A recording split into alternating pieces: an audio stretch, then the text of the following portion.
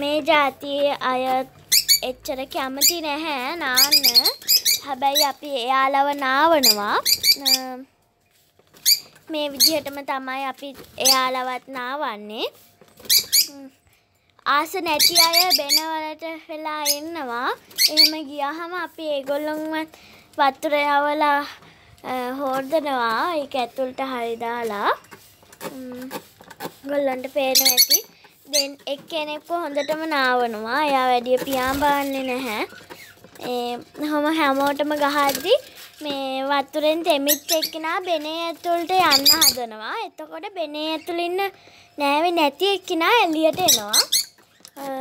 එහෙම ආවහම ඕගොල්ලන්ට දකින්න පුළුවන් ඒගොල්ලොම හොඳටම නෑවෙනවා. මේ මේ ඉන්න කහපාට කුරුල්ලව හොඳටම නෑවිලා තියෙන්නේ. එයාට පියාඹන්න පුළුවන් තාම. හැබැයි එයා බිමට ආවේ නෑලා ගොඩක් නෑවහම තමයි.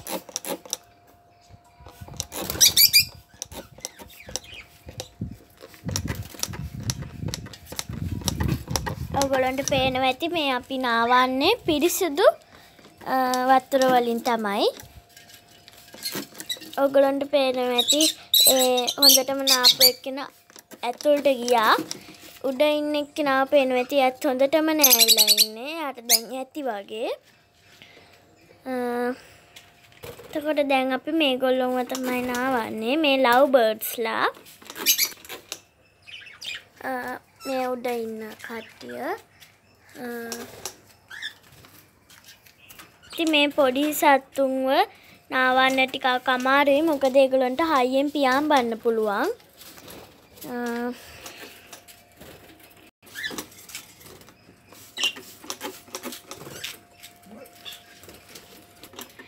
ඔයගොල්ලන්ට පේනවා ඇති මේගොල්ලන්වත් අපි නාවනවා. ඒ ජෝඩුවක් ඉන්නේ. බිත්තර දාන්න ළඟ පාටට තමයි අපිට පේන්නේ ඒගොල්ලොන්ව. මේ අපිට ඉන්න ඔක්කොම කුරුල්ලොන්ව අපි මෙහෙම තමයි නාවන්නේ. මොකද ඒ ක්‍රමයට ඒගොල්ලෝ පුරුදු වෙලා තියෙන්නේ. ඔයගොල්ලන්ට පේනවා ඇති මේගොල්ලන්ව පේන්නේ තෙමිච්ච කුකුල්ලෝ වගේ. මොකද මේගොල්ලන්ට දැන් ඉන්න බැරි වෙලා තියෙන්නේ මේගොල්ලොන්ට සීතල වැඩි නිසා ඒගොල්ලෝ හදනවා බෙනේ ඇතුළට යන්න. හැබැයි ඇතුළේට හැමෝම ගියහම ඉඩ මදි නිසා ඒගොල්ලෝ එළවනවා. එතකොට ඒගොල්ලෝ යනවා. මං හිතනවා දැන් ඕගොල්ලෝ මේ කුරුල්ලොන්ව නාවන ප්‍රශ්නෙන් හොඳ විසඳුමක් ලබා ගන්න ඇති. මේක ගැන දැනුමකුත් ලබා ගන්න ඇති. ඒක හොඳයි. මෙහෙම තමයි කුරුල්ලොන්ව නාවන්නේ. ඕගොල්ලෝ මේ විදිහට කරොත් ඒගොල්ලෝ කැමති වෙලා මේක දිගටම කරන් යද්දි ඒකට පුරුදු වෙනවා. එහෙනම් මෙහෙම තමයි කුරුල්ලෝ නාවන්නේ.